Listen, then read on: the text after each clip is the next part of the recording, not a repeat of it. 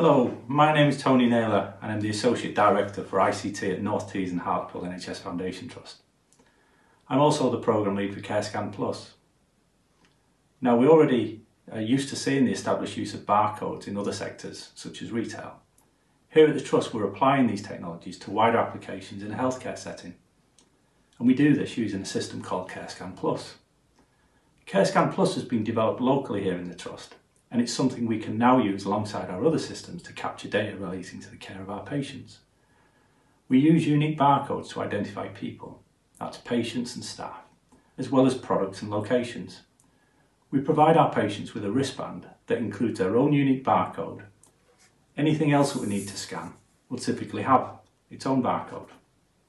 And then it's simply a case of using the system to scan and collect information.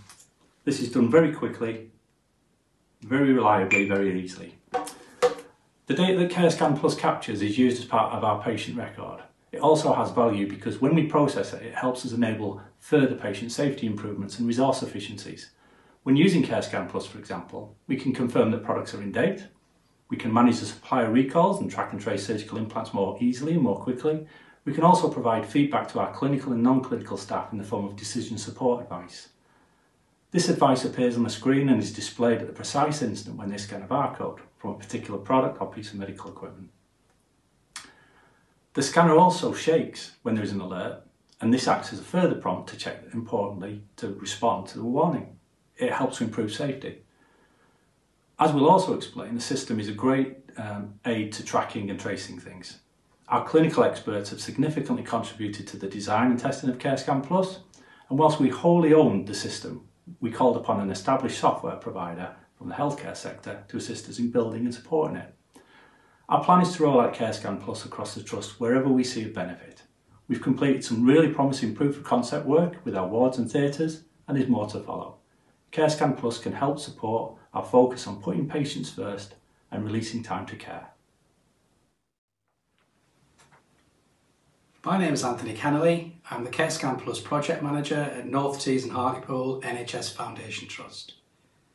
The coronavirus pandemic has presented the Trust with many challenges, one of which was understanding the capacity, availability and locations of our non-invasive ventilators throughout the hospital. Our team was approached and asked if we could urgently provide an asset tracking and tracing solution. Working at speed with our clinicians, we adapted the existing functionality within the CareScan software to meet the requirement.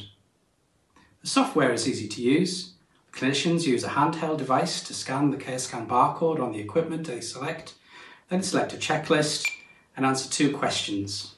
The current status of the equipment, is it in patient use, available for use, out for cleaning or out for repair, and what is the current location. Once both questions have been answered, they simply select the complete button and that's it.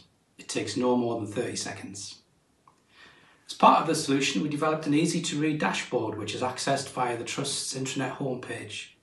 The dashboard shows in real time the current status and current location of all the non-invasive ventilators throughout the Trust. Knowing the location and current status of the equipment is vital in supporting our clinicians in the fight against COVID-19.